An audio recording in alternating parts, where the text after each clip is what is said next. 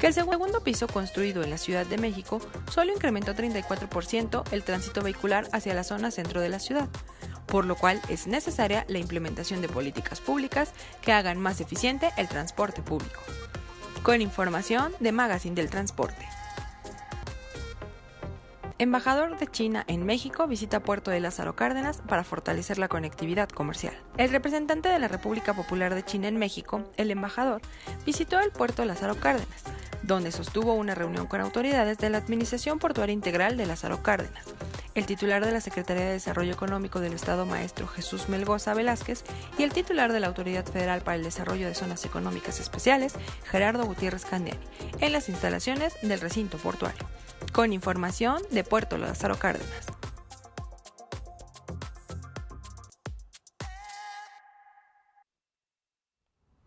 Muy buenos días, sean bienvenidos a la edición número 295 de ANTP Radio, usuarios del transporte de carga. Les damos la bienvenida y les agradecemos que nos acompañen. Agradezco también y saludo con gusto a mis compañeros de micrófono, Daniel Montañez. Hola, ¿qué tal? Buenos días a todos. Elías Espínola. Hola, ¿qué tal? Buen día a todos. Y Gerardo Ledesma. Buenos días, saludos a todos. El día de hoy les traemos diferentes temas en la agenda. Algunas de ellas son unas medidas anunciadas por la CCT sobre seguridad vial. También mis compañeros nos hablarán de dos de los grandes eventos de nuestra asociación.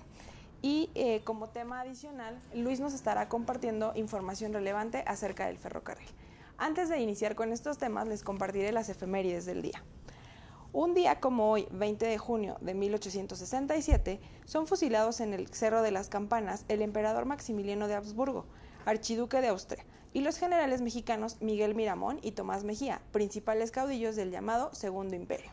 También un 20 de junio, pero de 1963, se crea un acuerdo de Ginebra para establecer el llamado teléfono rojo, con el fin de mantener una comunicación directa y rápida entre la URSS y Estados Unidos, en caso de conflicto entre ambas naciones.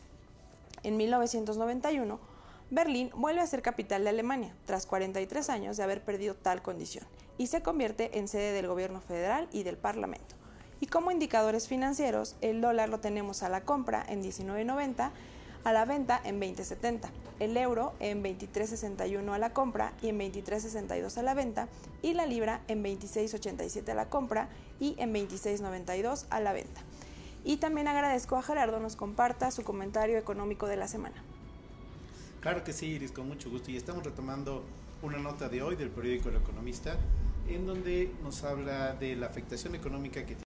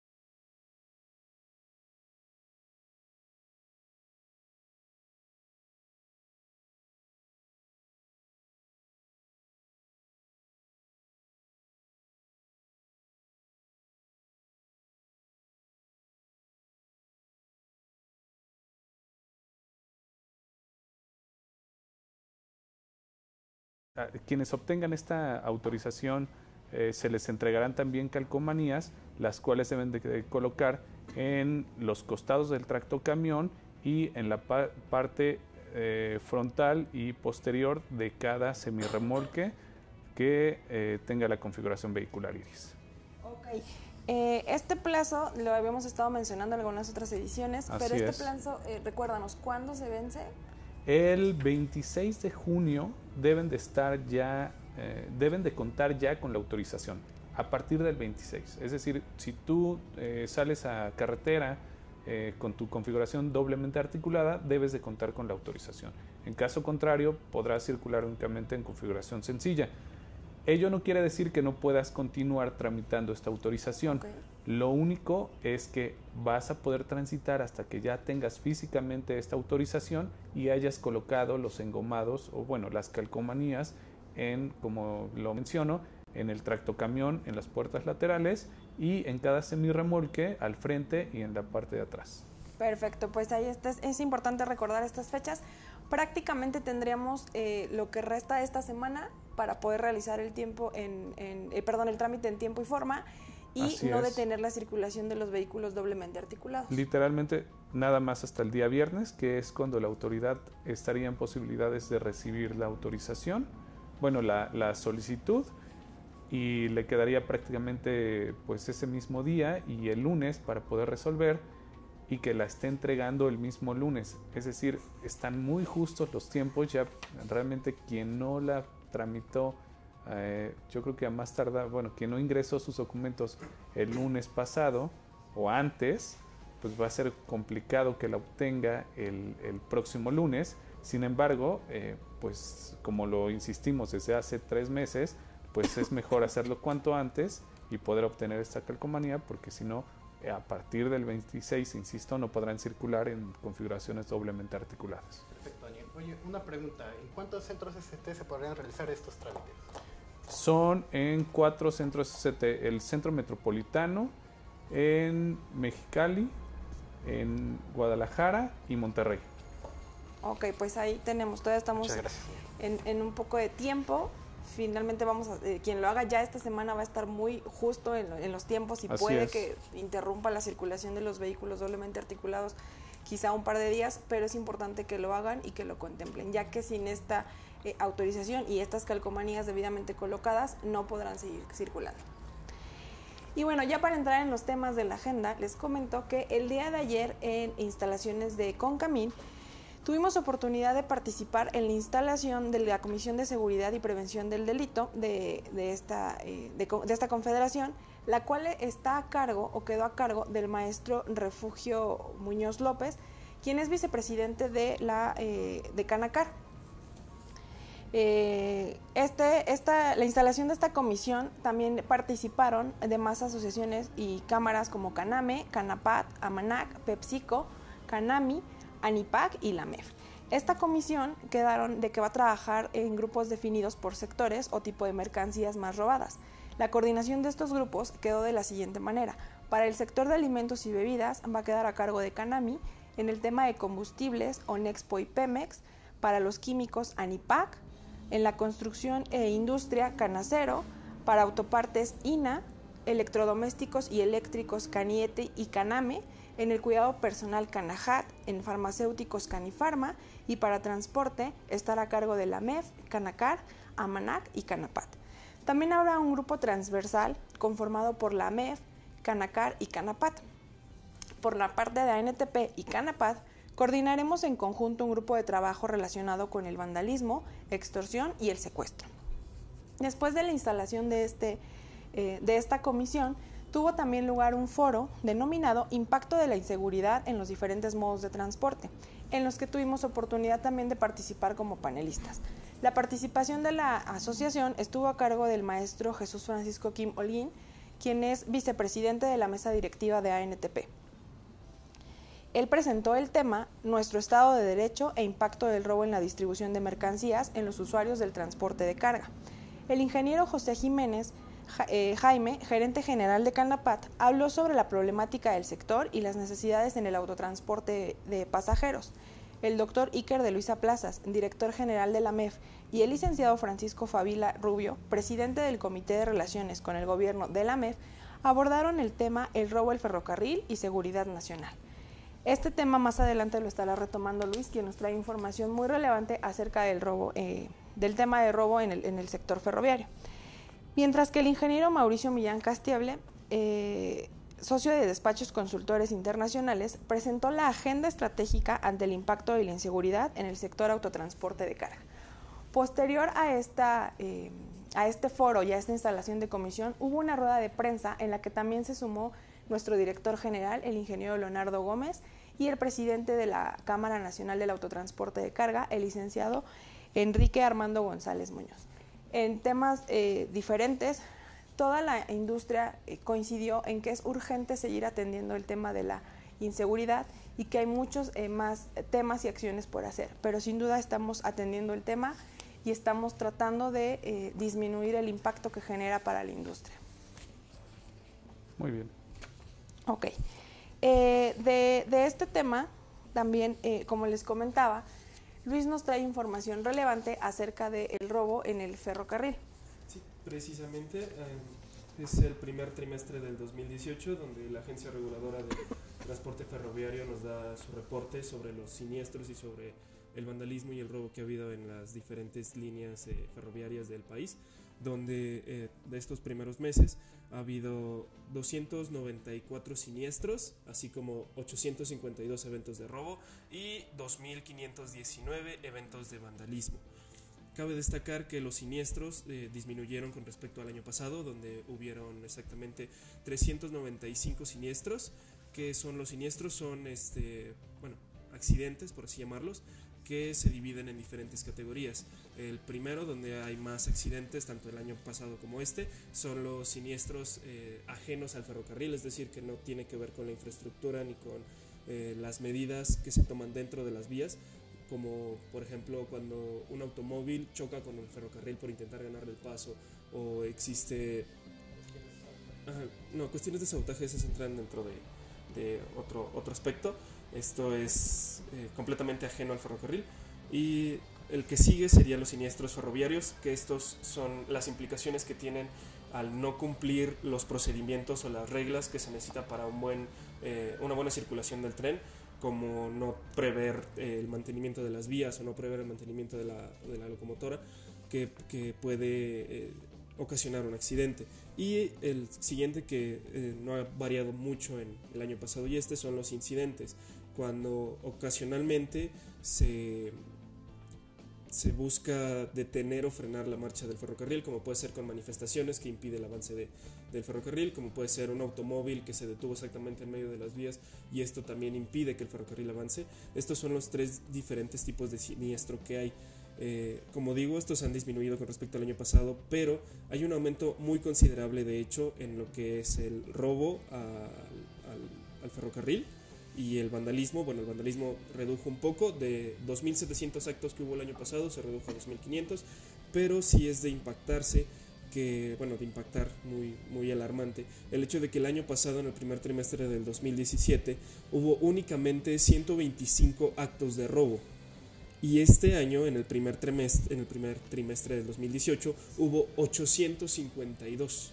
Es decir, es impresionante cómo ha aumentado tanto en tan poco tiempo. Y los principales eh, causantes del robo, lo, lo, principal que se roban es el producto, bueno la, carga, lo siguiente es el material rodante, bueno, puede ser como los componentes de la vía. Y el combustible en una mínima cantidad, igual se reduce a un 2% aproximadamente. Y en total entre el vandalismo y los actos de robo hubo 3.371 eh, actos en contra del sistema ferroviario mexicano, que son cifras, como comento, alarmantes. Si bien se está trabajando en el hecho de prevenir los accidentes eh, de cuestiones técnicas, como son los siniestros que les comento, el robo es el que ha afectado muchísimo más durante todo este tiempo. Claro, perdón Luis. Eh, y escuchando los números de que nos, las cifras que nos da eh, Luis, pues eh, eh, aquí vemos la relevancia y lo importante que es y eh, el tomar las medidas. Por eso las cámaras y asociaciones que comentaste hace un momento, pues están viendo la forma de cómo prevenir, bueno, ya ni siquiera prevenir, de cómo atender y, y, dar marcha atrás a esta tendencia que va al alza y que bueno, le está impactando el transporte no nada más carretero, sino ferroviario y no, este, no, no, quiero ser alarmista o fatalista, pero bueno, podría llegar hasta el barco, ¿no? También, es decir, no tenemos cifras o no, no nos estamos alarmando por el barco, pero bueno, pues también por el, el transporte a través de los barcos, seguramente también tendrá un impacto eh, el robo, pero lo que es el transporte ferroviario y el, y el autotransporte federal, bueno, pues es donde más este, está el foco rojo, ¿no? Claro, y ahora no hablamos tema de desincentivar el tema del robo en el, en el transporte de carga o en, cómo se mueve, sino también ya eh, como usuarios del transporte de carga nosotros tenemos una misma competencia con los productos que generamos porque estos son vendidos eh, de manera ilegal y son eh, más son vendidos de manera más barata eh, que lo que nos cuesta o que lo que realmente cuesta cuando son colocados en, las tiendas y en los centros de consumo. Entonces es un tema también importante que se tiene que desalentar. La venta informal, si no hubiera personas comprando estos productos que saben que vienen de, procedencia ilícita, seguramente tendríamos eh, menos personas intentando robar y colocar esta mercancía en el mercado. Así es, es que es la misma tendencia que se da en el tema del robo de combustible. La gente eh, pues va y busca el combustible más barato, aunque sabe que es robado. Eh, pues lo que hemos venido nosotros manejando en el aspecto de la prevención eh, de accidentes viales es que la cultura tiene mucho que ver. En el robo también. La policía incluso en reiterados foros y, este, maneja que el problema pues sí es combatir que disminuyan los robos, pero el principal problema es generar una cultura desde niños una cultura que evite que pues se conviertan en futuros este, ladrones y tengan pues una mayor conciencia respecto de lo que es y lo que no debe ser y tratar de evitar esto que dices Iris, que la gente no compremos o bueno no compren eh, cosas que saben que son robadas. más que nada es competir, más, más que para los productores, competir con sus propios productos, contra precios más bajos y mayor cantidad. Así como lo dijo Edgar Chain, representante de mesa directiva, que, donde fue en el foro, donde dijo claramente, es competir contra nuestros propios productos. Y eso significa pues, un golpe duro para los industriales. Al igual, Alex Tyson dijo en el foro igual que en cuestiones de robo nos volvería un país más caro en cuestiones logísticas. ¿Por qué? Porque los precios de los seguros van a la alza. Claro, y sobre todo eh, hay, ya, ya nos encontramos con compañías aseguradoras que si transitas por la noche o llevas cierta carga que es eh, muy delicada o de más fácil venta en el mercado eh, de manera ilegal, no la quieren ya asegurar. Entonces, todo eso impacta la, eh, la, cadena logística y finalmente tiene un impacto en el, en el consumidor final. Exacto. Y bueno, también atendiendo un poco este tema, recordarán en la emisión pasada, mis compañeros se los comentaron, en el marco de nuestro decimoctavo Foro Nacional del Transporte de Mercancías, tuvimos a bien eh, firmar un convenio de, de concertación de acciones y colaboración con la Agencia Reguladora del Transporte Ferroviario. Este convenio, a grandes rasgos, tiene como objetivo el intercambio de información eh, en función de las pérdidas económicas sufridas por robos, la ubicación del incidente, fecha y modus operandi, apoyo para la difusión de campaña de prevención de accidentes ferroviarios, cooperación entre, los, eh, entre las partes para temas generales. Otro de los objetivos es la capacitación mutua e intercambio de experiencias y conocimientos, así como la asesoría técnica avanzada y cooperación entre las partes en temas generales. Pues estaremos dando puntual seguimiento a este convenio, igual que a todas las demás actividades que, eh, y acuerdos que quedaron dentro de nuestro Foro Nacional del Transporte de Mercancías. Y así es como vamos a, una, a un corte comercial. Al regresar tenemos datos importantes acerca de la seguridad vial. Les recordamos que pueden seguirnos en nuestras redes sociales, Facebook, Twitter, Instagram, YouTube, LinkedIn. Nos encuentran como ANTP México o ANTP MX. Regresamos con más de ANTP Radio, usuarios del transporte de carga. El podcast de ANTP, Te invitamos a escucharlo todos los martes a las 10 de la mañana. Lo puedes descargar en nuestro portal www.antp.org.mx. También está disponible en iTunes. ¿Sabías que? ¿Acuerdan Gino y Volkswagen Truck Ambus Asociación Estratégica? Sobre la base de las ideas comunes, ambas compañías explorarán más las capacidades de cada una de ellas para cooperar en la logística y la investigación de soluciones de tráfico, las tecnologías existentes y nuevas, así como en las adquisiciones. La evaluación de la cooperación tecnológica se centrará en trenes de potencia convencionales, trenes motrices híbridos y eléctricos, así como la conectividad y sistemas de conducción autónomos. Ambos socios apuntan a mejorar sus respectivas posiciones de mercado en el negocio del transporte global y desarrollarán conjuntamente tecnologías innovadoras para ofrecer a los clientes el mayor valor. Con información de Magazine del Transporte. La cápsula. La cápsula. Aumenta el robo en transporte de carga un 266%. Choferes de transporte de carga han denunciado un incremento en el índice de robos que sufren durante sus viajes. En tan solo dos años se dio un incremento en este ilícito de 266%, pues se pasó de 1.102 casos en 2015 a 4.030 casos en 2017. Tan solo el año pasado se reportó que entre las carreteras más peligrosas para los transportistas se encuentran la México-Veracruz con 1.369 robos, la Querétaro-León con 322 robos y la México-Zacatepec con 203 robos. Entre los productos más codiciados por los delincuentes están alimentos y bebidas 28%, combustibles 28%, químicos 7% y materiales para la construcción 6%. Los delincuentes suelen utilizar vehículos y armas para amagar y cercar a los choferes, siempre en grupos de 6 a 8 integrantes. Las horas más peligrosas son entre las 6 de la mañana y las 12 del día. Existen tres modos de operar para este ilícito. En el 71% de los casos utilizan el secuestro, 17% con robo de combustible y en 7% de los casos es por medio del robo hormiga. Los estados con más índice de robo son Puebla con 1.235, Tlaxcala con 452, Veracruz con 421, Guanajuato con 366, Querétaro con 311 y el Estado de México con 258 con información de ADN 40.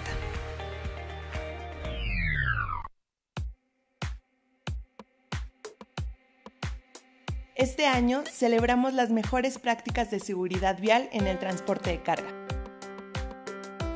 En ANTP reconocemos a los mejores operadores y empresas, fomentando la competitividad en la logística de los negocios promoviendo la cultura de la prevención de accidentes e incentivando con capacitación a los operadores.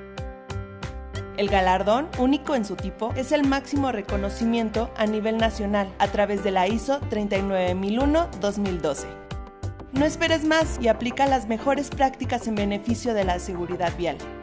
Registra tu empresa y participantes en la decimonovena edición. Consulta las bases en www.antp.org.mx diagonal premio. Octubre 2018. Espéralo.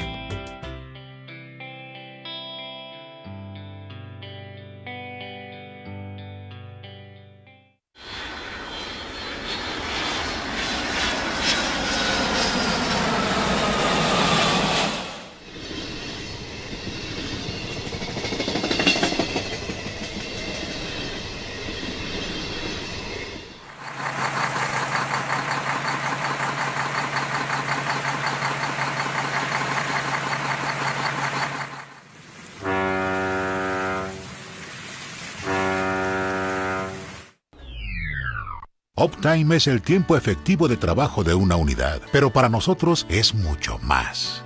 Uptime es tener 85 puntos de servicio a lo largo del país, una financiera, una aseguradora y toda una compañía esperando para poder servir a nuestros clientes en cualquier momento. Uptime es international.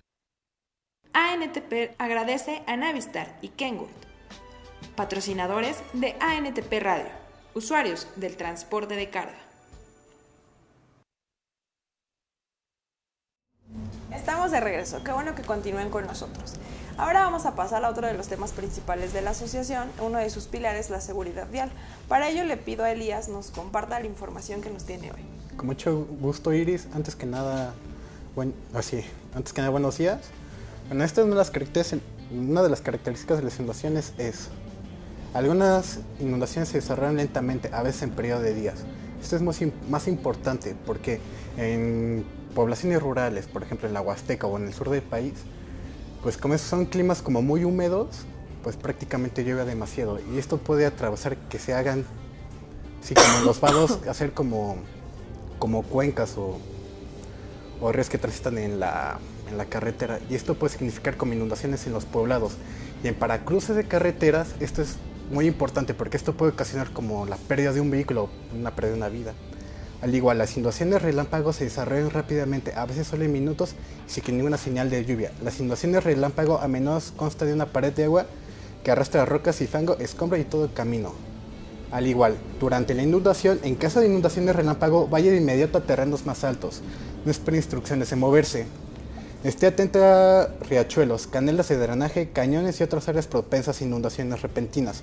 Al igual como la imagen como se representa ahorita, no intente atravesar no intente atravesar su vehículo en un arroyo o a nivel del agua cuando supera la altura de los ejes de las ruedas o sino claramente la superficie de la carretera. Esto consta para todos los vehículos, tanto como particulares como de carga.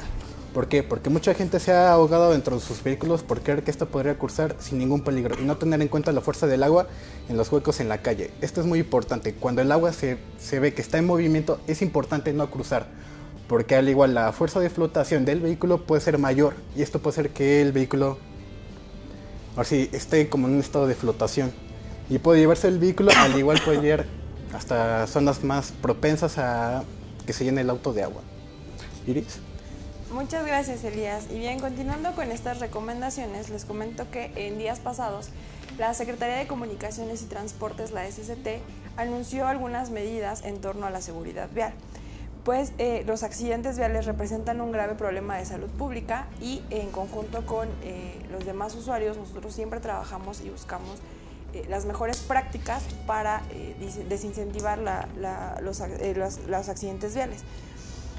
las recomendaciones van en función de cuatro principales actores. Los primeros son los peatones, posterior los ciclistas, los motociclistas y los conductores. En el tema de los conductores, estas recomendaciones también van muy ligadas a nuestros operadores de transporte de carga.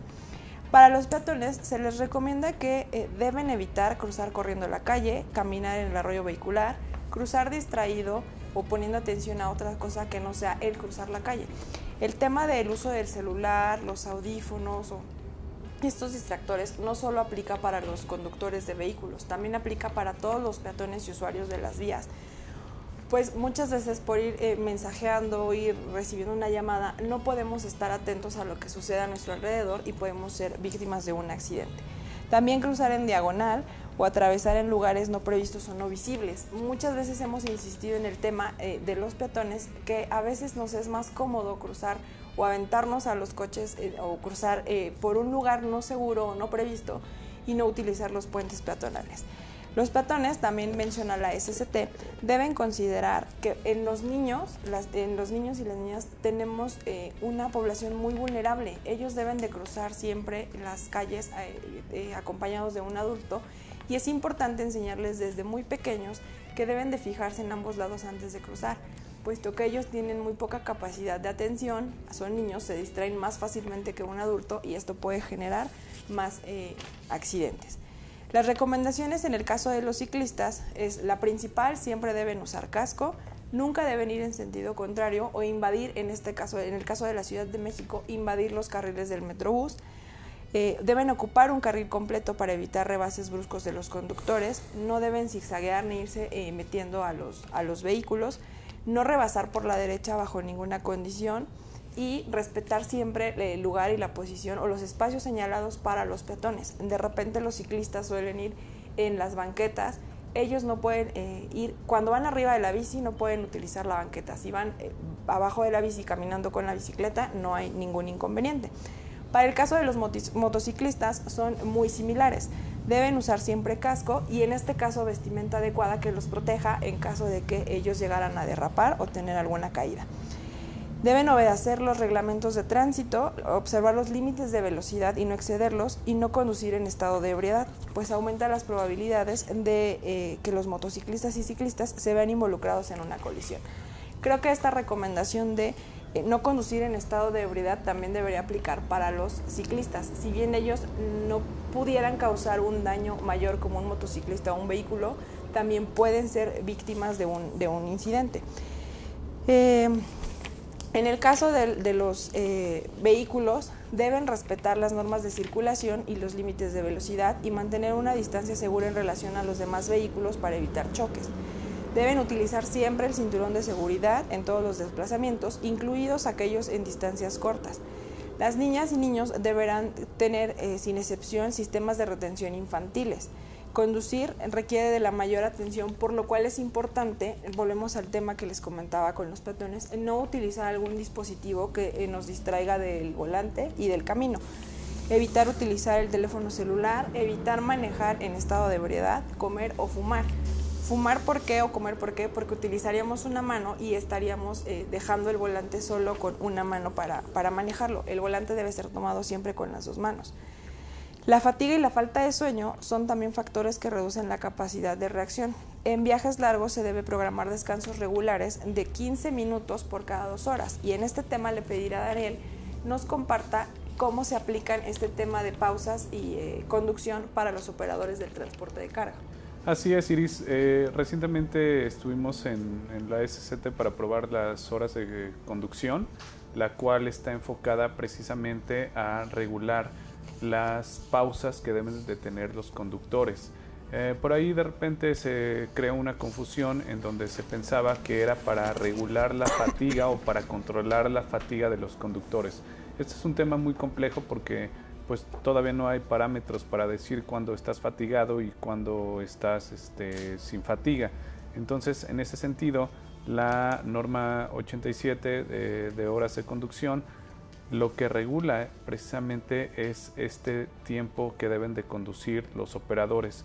Que no sé si Elías, tú tienes claro cuál es el, lo que marca de descanso precisamente la, norma, porque este tema lo trae muy presente Gustavo y lo maneja muy bien, de hecho fue el que, que nos compartió en la edición pasada, eh, cómo debe de, por cuántas horas, me parece cada 24 horas, te marca un periodo que debe de descansar el operador por cada 12 y por cada 5 respecto de los recorridos que realiza.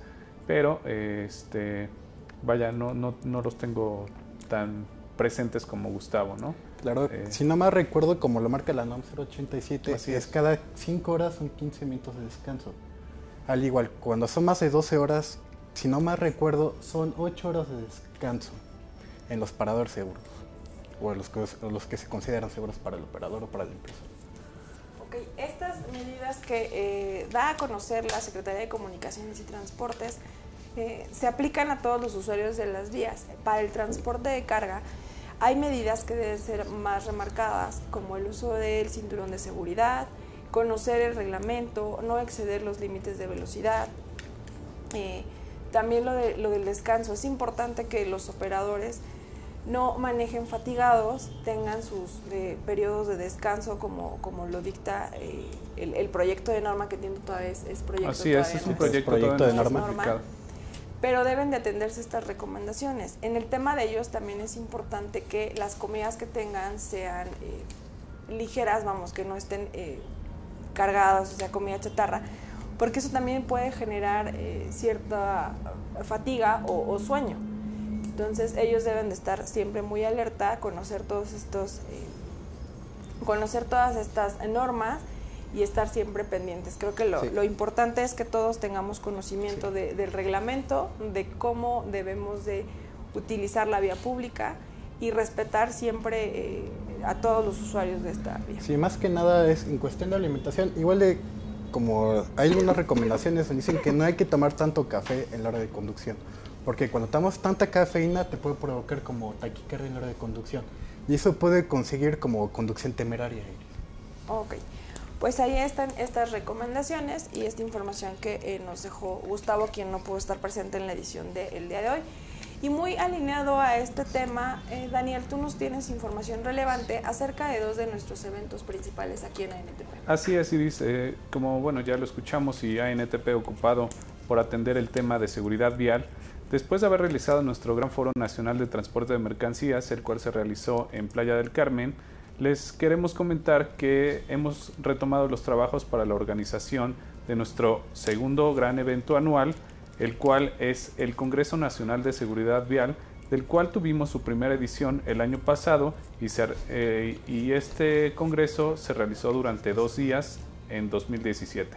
Para este año, la planeación que estamos realizando es en tres días, ello con la finalidad de contar con el tiempo necesario para que todas aquellas personas involucradas en el área de seguridad vial en el transporte de carga cuenten con el tiempo suficiente para exponer diversos temas que coadyuvan a mejorar y fomentar la cultura vial en México y difundir sobre y sobre todo difundir los esfuerzos que los usuarios del transporte de carga y empresas con flota propia realizan para disminuir los incidentes viales. Actualmente, las autoridades ya reconocen que el transporte de carga es un factor muy importante para el desarrollo de las ciudades y la economía del país. Sin embargo, requieren escuchar a los expertos en el tema para poder generar planes y programas que permitan dar la jerarquía que corresponde al transporte de carga durante su tránsito en las vialidades urbanas y en carreteras y puentes de jurisdicción federal. Por otro lado, eh, como les comentaba, se contará con, con tres días los dos primeros serán para realizar ponencias en los que nos estarán presentando los usuarios de, carga, empresas con flota propia, autoridades y académicos. Todos eh, pues son personas que están involucrados directamente con la seguridad vial en el transporte de carga y es muy, va a ser muy interesante escuchar qué es lo que están generando y cuáles son los planes o cuál es la visión que se tiene a futuro para, para México. Y durante el tercer día se estarán realizando demostraciones o se está planeando eh, eh, eh, presentar los dispositivos integrados a vehículos de carga que ayudan al operador y a las empresas a tener un mayor control del vehículo, pero, este, pero que ya están establecidos en la norma 012. Pero la idea que queremos desarrollar es que este año se, demuestre, se, se, observe cómo los dispositivos establecidos en la norma 012 coadyuvan a mejorar esta seguridad vial. Eso es en el tema de nuestro Congreso de Seguridad, de seguridad Vial. Pero por otro lado, también quiero comentarles que en paralelo de esta organización a nuestro Congreso, estamos trabajando en las actividades para llevar a cabo nuestro tercer y último gran evento del año, el cual es el Premio Nacional de Seguridad Vial, para el cual desde el mes de mayo se lanzó la convocatoria y como en alguna de las ediciones Gustavo también lo, comentó, esta convocatoria está abierta para nuestras empresas socias y todas aquellas empresas u operadores que se quieran inscribir. Eh, y este evento tendrá su conclusión en el mes de octubre con la premiación de aquellas empresas que hayan obtenido una evaluación satisfactoria en sus programas de seguridad vial. Así es. Esto sería en cuanto a nuestros dos.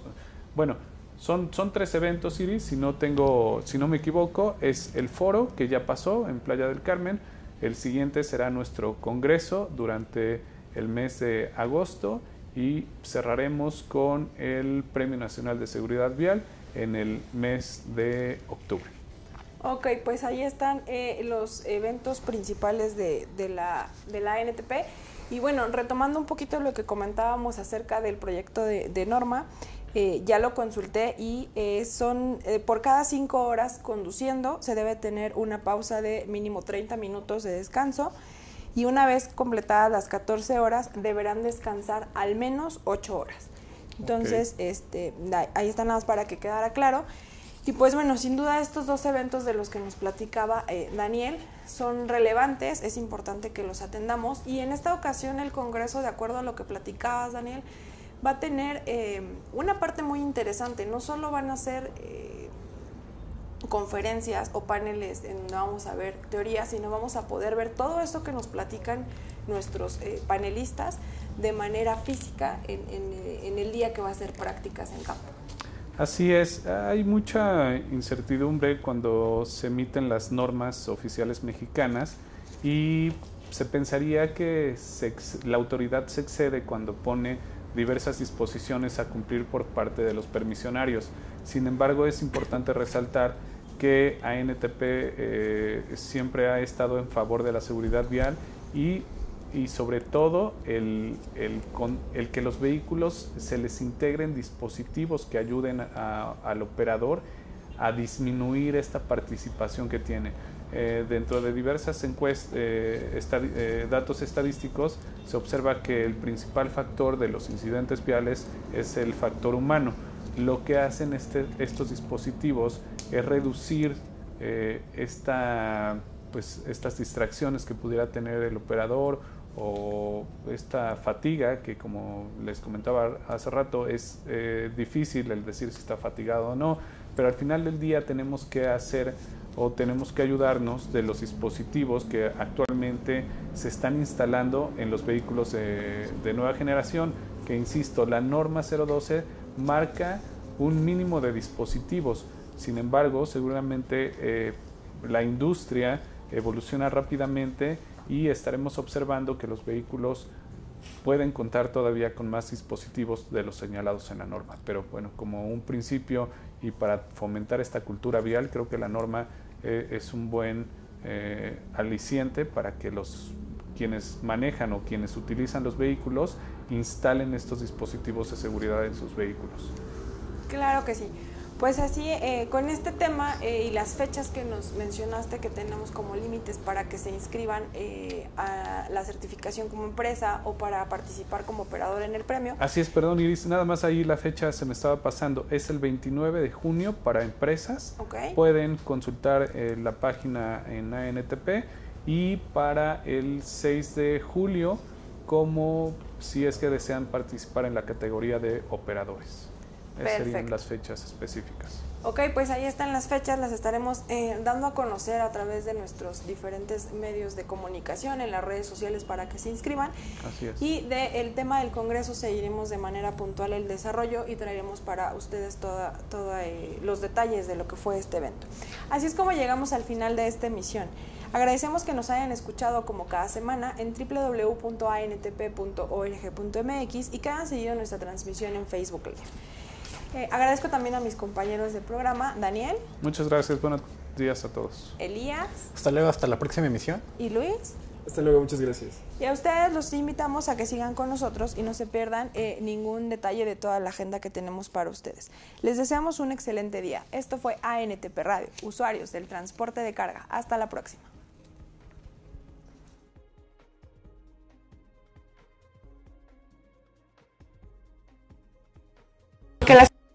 Cuidado del medio ambiente, la infraestructura, la competitividad y productividad es responsabilidad de todos. ANTP. La logística del transporte en la radio. Envíanos tus comentarios o sugerencias vía Twitter o Facebook a ANTP México. Los invitamos a visitar nuestro portal www.antp.org.mx, en donde encontrarán información actualizada del sector.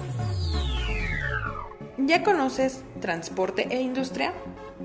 Te invitamos a conocer la revista de Transporte e Industria, en la cual encontrarás artículos sobre transporte y logística.